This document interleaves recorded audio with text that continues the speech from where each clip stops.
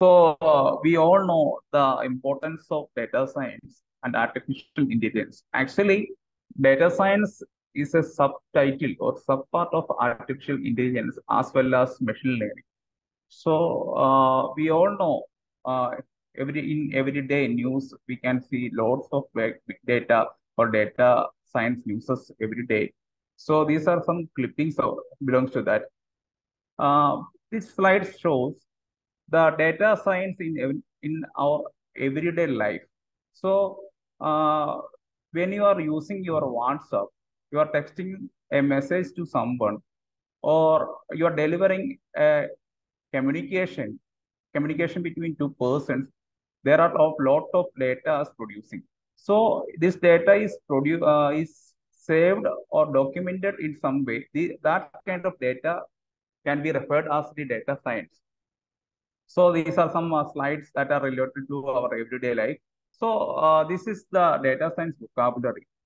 These are the main uh, terms or documents that are using our data science area in industry. These are some kind of words, predictive analysis, programming, organization, consumer, data mining, visualization, big data, uh, privacy, then uh, preservation. These are the some vocabulary terms that are related to data science. So my question is regarding that. What is data science? So data science, in simply we can say that it is also known as data-driven science. So it is very, very important and the hot topic in the research area. I'm also doing my research in data science. Actually, it is not in data science, it's a, a privacy area that is it's a subtitle of data science.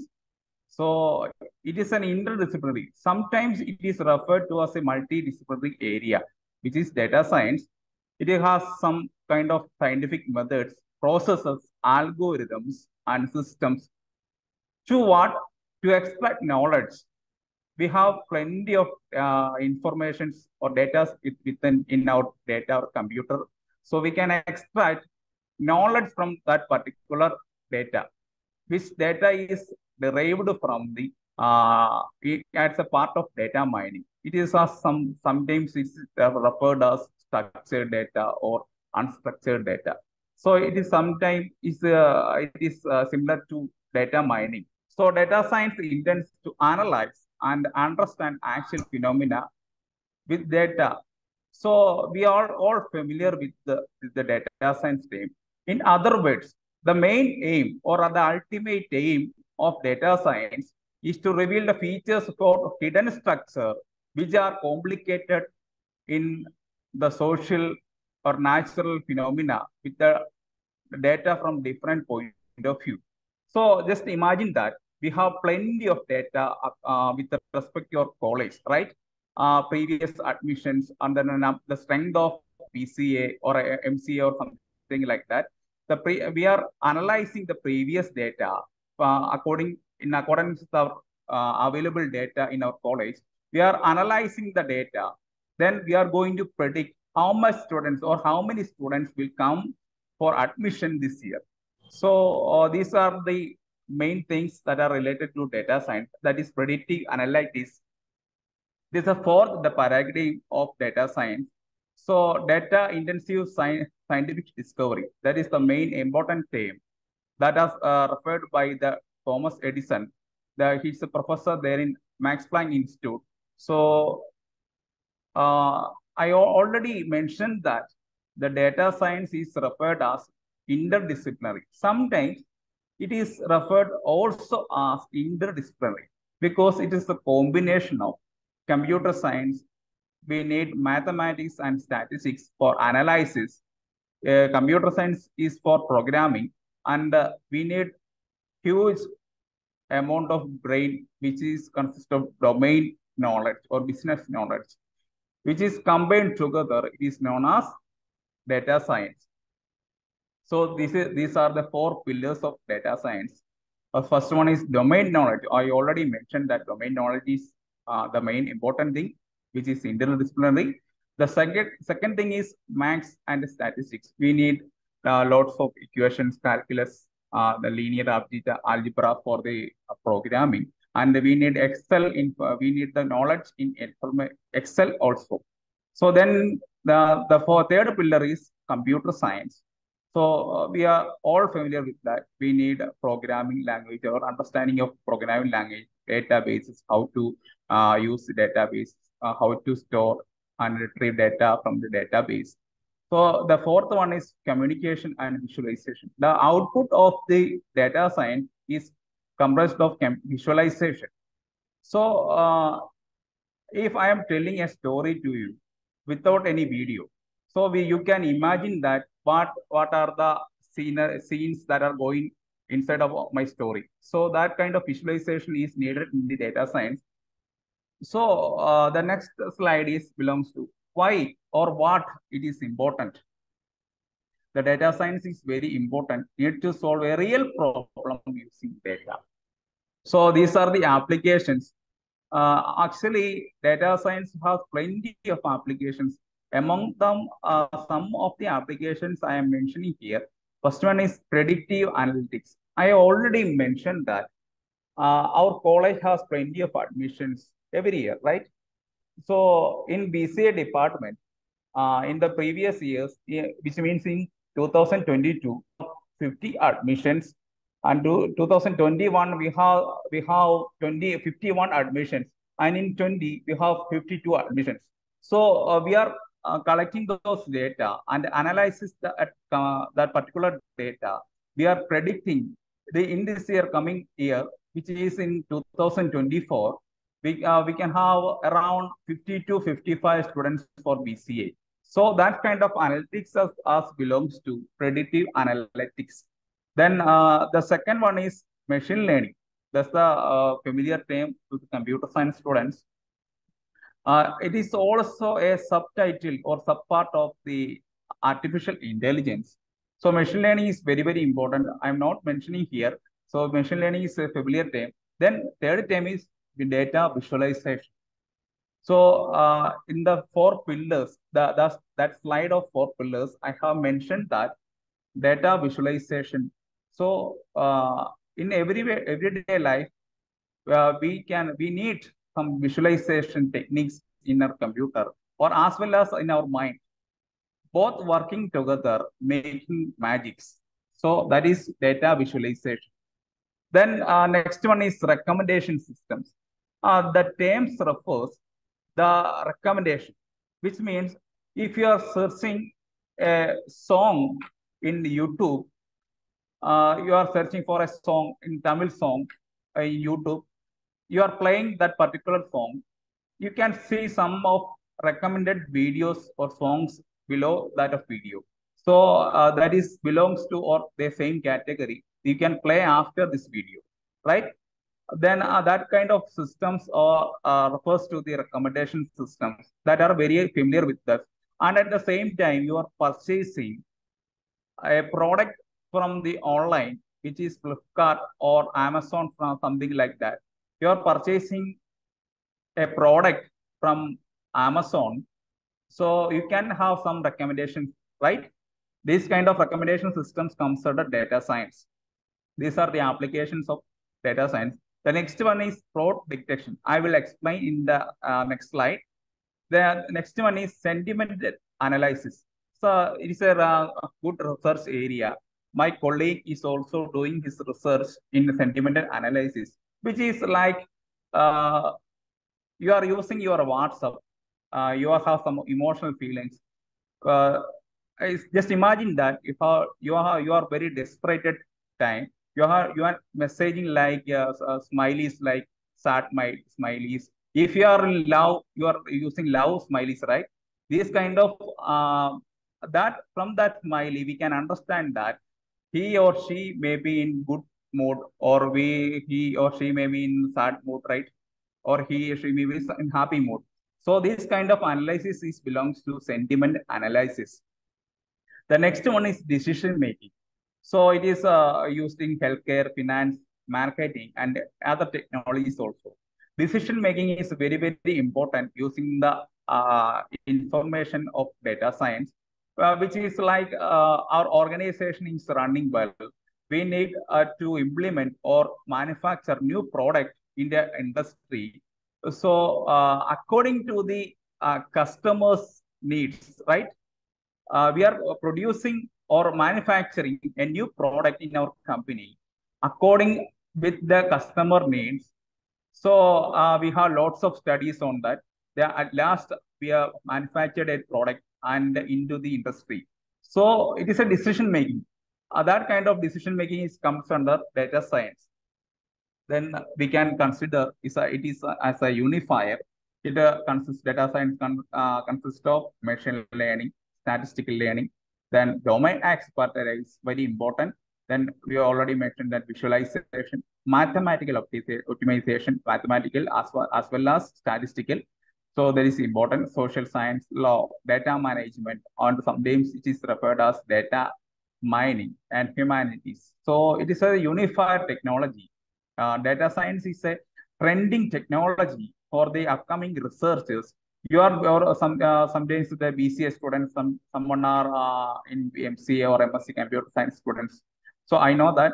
So as uh, after that, we uh, there will be plenty of area or plenty of uh, research scopes for the upcoming research student uh, in a PhD or in the main research also. So these are the unifiers. So big data, another term is big data. We are very familiar with that big data is like uh, crude oil, right? Uh, it is like refining crude oil. You, we know all we all know that how to uh, refining crude oil, right? So it is like uh, uh, lots of data are available in that area. We are uh, refining some kind of data which is informative data or useful data from that big data. That big data also is known as crude oil. So then the process is just imagine that just the next process is big data is about extracting crude oil, then transporting it in mega tankers, then I in transferring or siphoning it through the pipeline and it is storing in massive silos. Just imagine that the process of big data. First, you imagine how to refine crude oil and it is transferring and it is how to save that crude oil. That's the same thing that's happening in big data mining. So uh, there is a artificial, we are uh, uh, coming to the artificial intelligence. So uh, I already mentioned that data science and machine learning, those are the subtitles of artificial intelligence. So uh, machine learning produces predictions.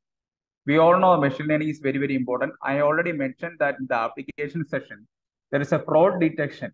So these are the patterns, binary codes, right? Among that pattern, we can uh, understand or realize that where is the fraud data is available.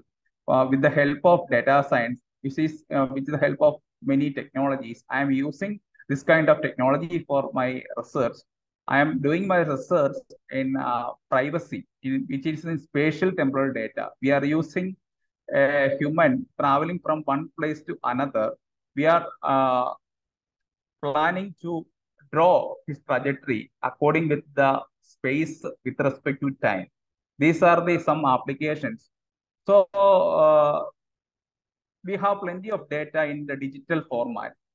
If there is a fraud data in the in our main data, so it will uh, it will cause many damages to your data. We need to use this data in the future, right? So early detection is important. It is very, very important.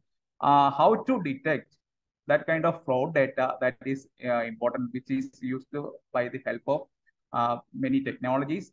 If we are uh, realizing or detecting the fraud data after uh, many times it will cause uh, so many uh, pattern loss to the our data.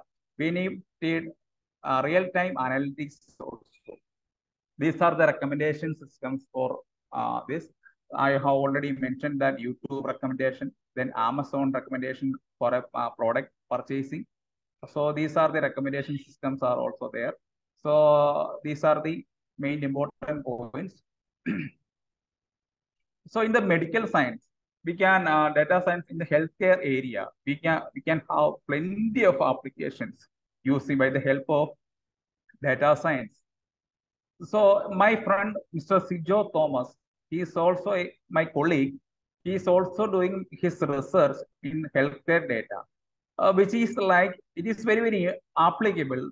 And uh, he has patent also because uh, he is uh, realizing some uh, cells from the X-ray, uh, which is which cause cancer cells. I, I don't know much about that, he he's doing some that kind of research in in his PhD. So uh, he also got the patent data from the uh, government of Kerala. So he is uh, doing his research in healthcare. So healthcare we have plenty of applications that belongs to data science. That are some of them mentioning here. Uh, we got shareable records are there. Improved monitoring by the use of uh, data science automated lab work is there.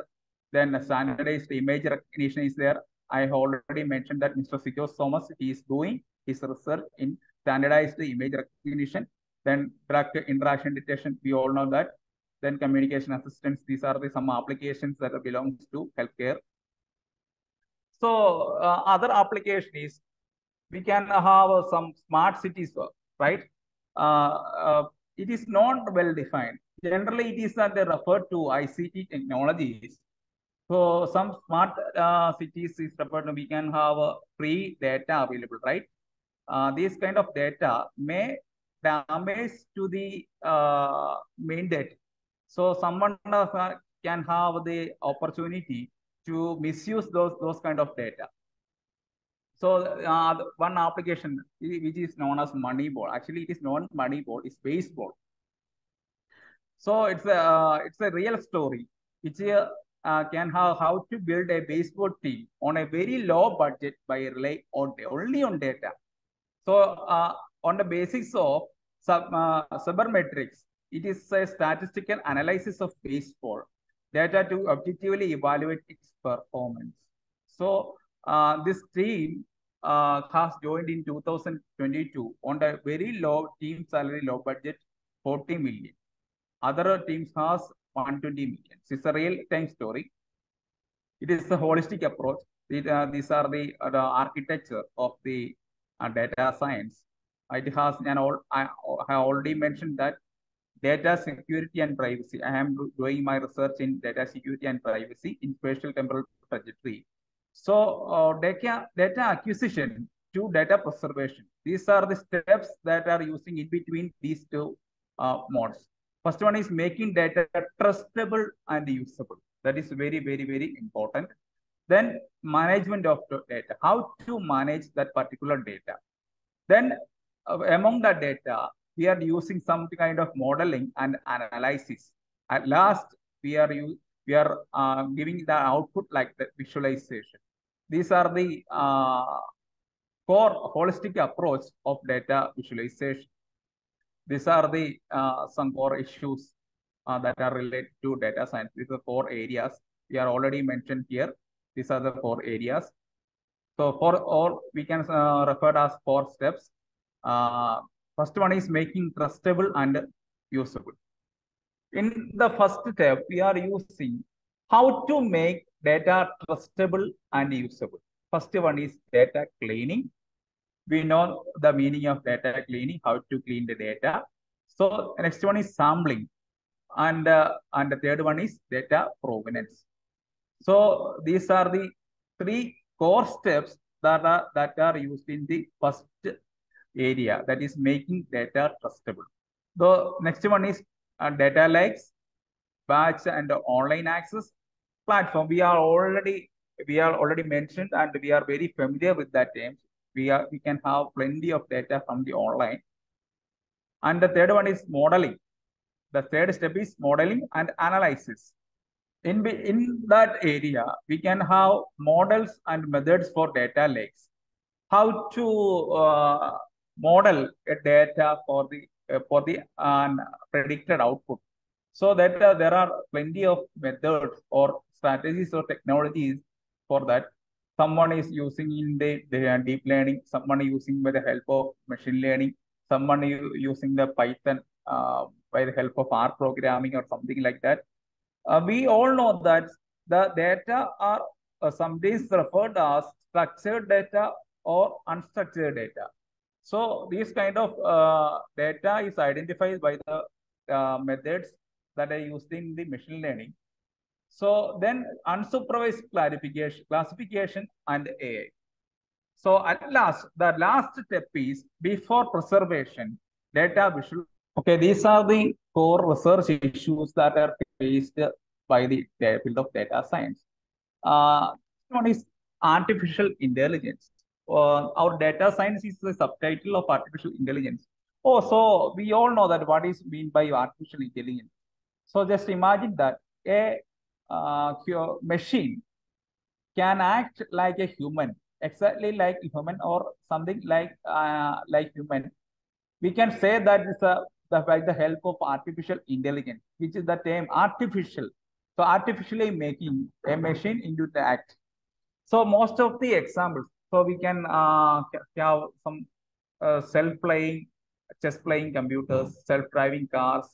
Uh, these are the, some uh, real-time examples that are we are using today. Uh, these are not heavily uh, rely on deep learning and natural language processing. One of my colleagues, he, he's also doing his research in natural language processing. So it's a hot topic today. These are the roles of AI. So uh, the, the roles are, the first role is identifying knowledge gap. So identify, identifying in research, in research area, identifying the research gap is the most important thing. Like that, identify knowledge gap, the first role. And the second role is developing crucial insights. And the second one, third one is instant feedbacks. And the fourth one is 24 into 7 digital tutor.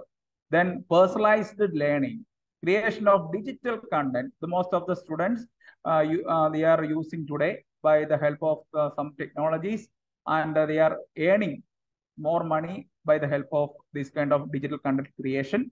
Then appropriate content. These are the role, main roles of AI today. So some of the important innovations of AI, is, which is personalized learning. We all familiar with this term. So AI plat powered platforms can access learners' progress. Uh, just imagine that some of the deemed universities are providing some courses like UG, PG courses and, uh, and also diploma courses by online, which can be referred as personalized learning. Then second one is adaptive learning. So uh, adaptive learning is uh, like it's a adapt, uh, system like can adjust learners' progress and provide additional support or challenge as needed. Uh, adoption is like uh, we we can uh, we can find out the learner's progress by the help of med several methods and provide additional support if needed. So we, we are familiar with that kind of terms. Then automated grading. If you are uh, uh, competition, if there is a competition, quiz competition by online, you are participating in that competition by online, something like Google form like that. Uh, then you are participating, you have passed for that the uh, quiz competition. You can have a e-certificate, right? It is like automatic grading. It is by the settings arrangement, right? So then next one is learning analytics. So it can be used for to improve learning experience and inform instructional decisions. So uh, we have plenty of students that are online students. We are analyzing their results or their uh, learning progress. Then uh, we can uh, predict that the, most of the students are the upgrading students or some of the students are average students. So uh, some of the students are below average students. We can have the analytics that is like learning analytics. Then next one is visual virtual instructors. So we are very familiar with that term. So we can we can have personalized instructors or feedback to the learners. We are very familiar with that. Then last one is translation. We are all familiar with that. I am a Malayali. Uh, is someone uh, Tamil. So uh, the most common language is English. We can translate any language in the in any in the language from any language, right? From English to uh, Tamil, Tamil to Malayalam. So anyone can access the data around the world. So uh, these are the roles of AI in education. So uh, I have already mentioned that we have personalized education is there. So some of the universities, some of the deemed universities, even in the Tamil Nadu, they are pro providing uh, online or that kind of degrees and uh, that are available there. Then produce smart contents. Uh, some of the students or uh, employees, they are uh, making money by the help of creation of contents. So contribute to the task automation. It is very familiar term. This is the process of automation of tasks. So all uh, just imagine that in about our college. Uh, in 1990s, all the data are processed by the using of the uh, textbook or uh, records, right? Nowadays, they are using some more applications or in our computer. So it's a task automation. Do tutoring, it's a very important thing. Uh, it's a very familiar thing. So ensure access to education for students with special needs. If you if a student needs special attention or special support from the tutor or the internet, they can access any data and future data along with the uh, efficient data. So these are the uses of artificial intelligence. In medical science, I have already mentioned that in healthcare data, my friend Mr. Sijos Thomas is also doing his research in healthcare by identifying the cancer cell from the X-ray. So then uh, in the field of air transport, we can use the artificial intelligence. In the field of banking and financial institutions, they are using artificial intelligence by the help of uh, uh, plenty of uh, technologies. The field of gaming and entertainment, we all familiar with that, achieves unprecedented accuracy. So it, artificial data has the accuracy is good. So it is reliable and quick. Uh, then we can have uh, lots of arts to the product, right? If you are playing a song or a video in, in your uh, YouTube. So you can have uh, ads, right? You, you can skip after five seconds, but it is the help of, it is by the using the help of artificial intelligence. AI evaluates deep, deep data. So uh, these are the main uses of artificial intelligence. In future, in future, by the help of artificial intelligence and the subtitles machine learning and data science, we can have plenty of opportunities even for the students, even for the researchers, even for, the employees, everyone is applicable for the data science and machine learning, and also for the artificial intelligence. In future, our work is belongs to uh, robots, right? Uh, our uh, we are doing our everyday work today by uh, come from home and uh, uh, teaching here, then going back to our home. These kind of methods or these kind of uh, strategies can act by the help of uh, some technologies by the machine. So, so everyone can everyone can access the benefits of artificial intelligence. So it is very much applicable for all industries. Okay, that's all about my presentation. Thank you.